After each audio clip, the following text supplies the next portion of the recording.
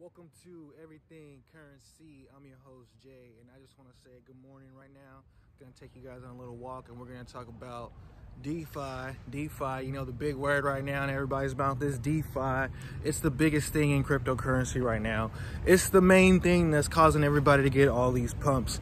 Shout out to everybody that got got in on that pump on COTI, and shout out to everybody that's in Kyber Network. If you don't know what Kyber Network is, you should probably look into it because all of these decentralized protocols and products and stuff like that, there's two things that they're gonna need. That's liquidity and oracles. So Kyber Network and Chainlink, it's looking pretty good.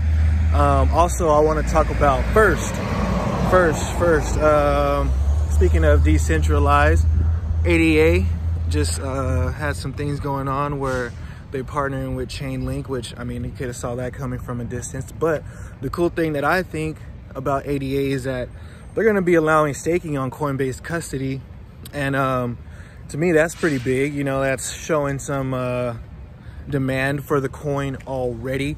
But I'm pretty sure like a bunch of these people who are going to be staking on Coinbase custody already have a shit ton of ADA.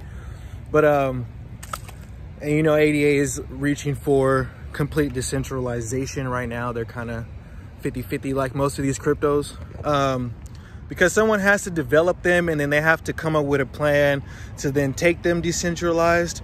So um, the thing about decentralized finance versus centralized finance is with the decentralized finance, you're talking about way bigger gains, way bigger yields just because you're cutting out the middleman. That's all that means is just cutting out the middleman. Like anytime you cut out the middleman, you save more money.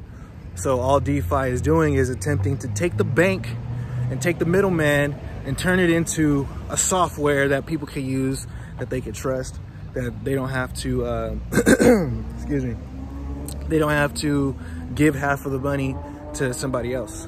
And, um, you know, the thing about that is there's a big learning curve. So as a lot of these coins and companies are coming out and they're trying to make it easy, trying to build up the user experience within DeFi to make it easier. Um, you're also accepting more risk if you go with those rewards. So like, for example, a normal bank, which is insured. So look, thing about centralized entities is that you have some sense of insurance. If something goes wrong, you have some type of insurance to back it up. With some of these protocols, if things go wrong, it's new technology. If things go wrong, you kind of lose your money. You're risking it, you know, but a bank is only going to give you 1% a year, 0.01% a year, 0.02. Like 0.02 versus 6% is like a huge difference, you know what I mean?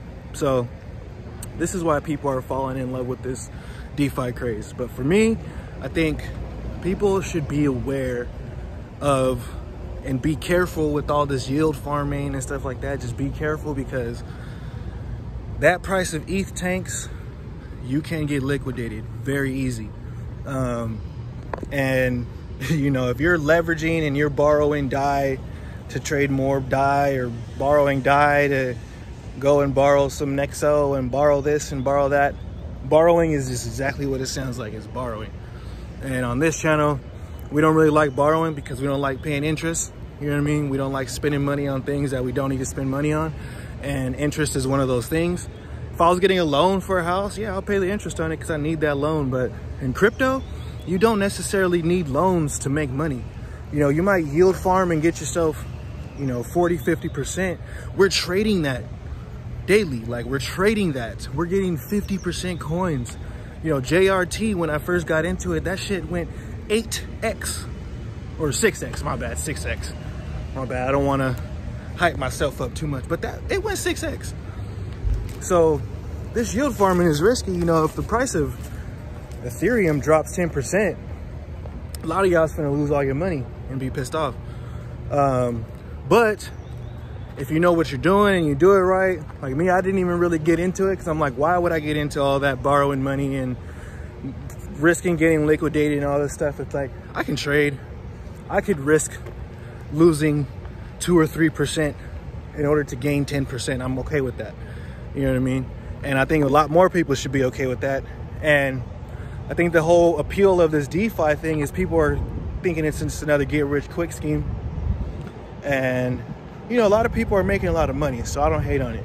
If it's making you money and you know what you're doing, hey, I don't hate on it. As a matter of fact, if it's making you money, then teach me. Come in the comment box and be like, yo, you stupid, bruh. You need to get on this yield farm and let me show you how. If I'm stupid and I don't understand how it works and, you know, like, fill me in because I'm seeing easier ways to get this cash. You know what I mean? At the end of the day, I care about Bitcoin. I like what the technology can do for the people, but right now, I'm just trying to get to that 1%. I'm trying to be 1%. Like 99% of the population has none of the money. I'm trying to get to the 1%. So um, you're sitting over here worried about all the all the wrong things. So at the end of the day, I'm just trying to keep it real honest and say, hey, we're using cryptocurrency to gain more money. In the future, if everything works out and one Bitcoin ends up becoming the standard form of measure as far as money goes and it's not the dollar anymore, if Bitcoin does take over, then I'm still gonna be good because I'm in it early. But if Bitcoin doesn't completely take over, which I don't think it'll completely take over, um, but I do think it'll be used and the technology will definitely be used, even if we took the dollar and just threw some blockchain technology over it. But that's a different story for a different day. But at the end of the day, at the end of right now, like my whole point is this that be careful with DeFi and be careful with the only thing you need to be careful with centralized entities is if they're not breaking the law. You know, if they're breaking the law, then they'll get shut down. And in the case that they get shut down, what usually happens is they usually just give your money back. But we don't want that. You know, we want more money than we put in. So when it comes to the centralized ones, the reasons why people don't like them is because they can be shut down, they can be manipulated anything could be manipulated. So I'm not really tripping too much right now off of decentralized versus centralized um, because it doesn't make sense when I'm trading. Like, I mean, it doesn't, it does make sense, but it doesn't matter when I'm trading. Um, if you want to go the normal route, you know, if you already have a million dollars and you just want to live off of the passive income from that, then DeFi is probably the way to go. Um, but be careful, man, because you can get liquidated easy, easily and quickly. And last thing you want, like anytime you use leverage, you can get liquidated. So be careful with that. Um, right now with these coins, I don't think, I mean, as the DeFi hype picks up and more and more people are hopping on this DeFi hype, more and more coins are gonna come out and claim to be DeFi. You know, they're gonna come out and claim that they've been DeFi the whole time. So just be aware of that. Um, right now, hype is still pumping the market. Hype is still pumping everything. Um, but just, I guess what I would say is, I'm making more money trading. I don't need to get into all this risky yield farming stuff and risk getting liquidated. Um, trading is not easy. Don't get me wrong. Like you still have to learn some things, but you don't have to get all complex with it and we're only looking for, you know, short gains over and over and over and over and over and over. And whenever we find something like JRT, we'll try to bring it to the attention of the people and hopefully we can all get paid off of it. Um, yeah, but other than that, man, be careful with that yield farming stuff. Be careful with this DeFi hype because right now, if the price of these cryptos tank, a lot of people might be in trouble. And the charts, we're seeing bearishness on, on the, the charts right now. Um, one thing is that the market really is running on this Bitcoin dominance idea where Bitcoin dominance goes down.